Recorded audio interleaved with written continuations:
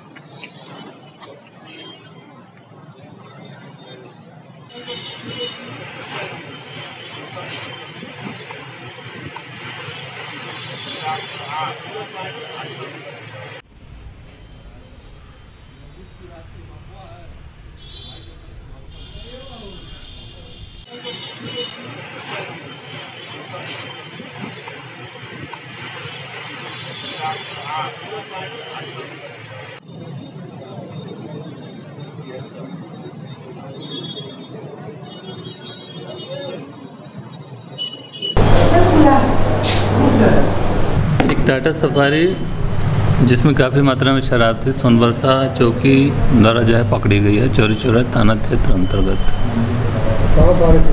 ये शराब जो है, महेंद्रगढ़, हरियाणा, निवासी एक व्यक्ति पकड़ा गया है, प्रवीण यादव नाम का। और प्रारंभिक पूछताछ में ये बात आ रही है कि शराब जो है बिहार जा रही थी। अनुमानित दो लाख रुपए की कीमत है। गिरफ्तारी हुई एक गिरफ्तारी हुई